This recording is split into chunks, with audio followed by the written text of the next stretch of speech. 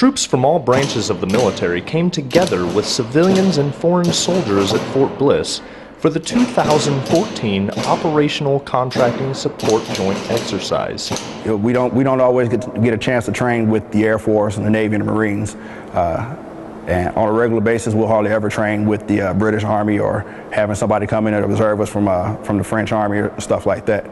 Here, we all come together, train as one, learn how each other operate, and uh, later on down the road, we meet meet downrange or meet on some other contingency.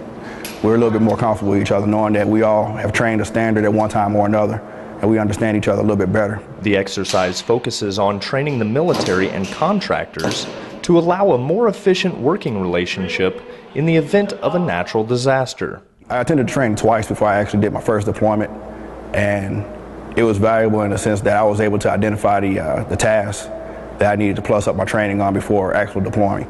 If I hadn't been to the training, those, those individual tasks as far as in my MOS and contracting, I wouldn't have known that I didn't know enough about them. So coming here, I was able to do a self-assessment of myself, find out what I needed to plus up on, and when I got back to my home station, uh, trained up harder on it, and it paid off dividends during my uh, deployment. The training includes events like the Engagement Skills Trainer, which is a simulator that helps with marksmanship training on multiple types of weapons in many types of environments. Army Sergeant Travis Delzell, 16th MPAD, Fort Bliss, Texas.